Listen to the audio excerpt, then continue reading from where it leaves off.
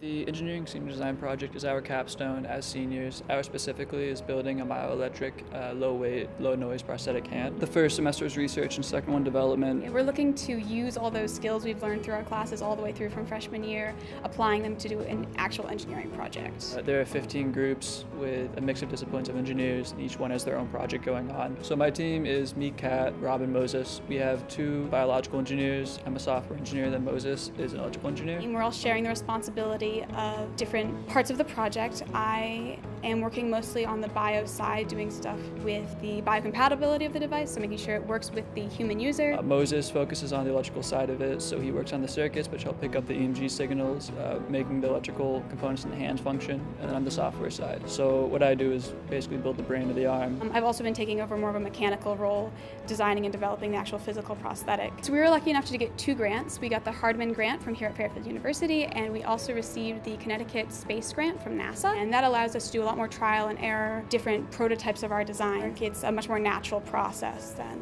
we would otherwise be able to do. Fortunately, we all get to work closely together and learn about each other's disciplines. Just a new process, one that probably seems like more professional and more like realistic. Uh, when I got into bioengineering in freshman year, I wasn't really sure what I wanted to do with it, but after doing this project, I'm really sure I want to do prosthetics.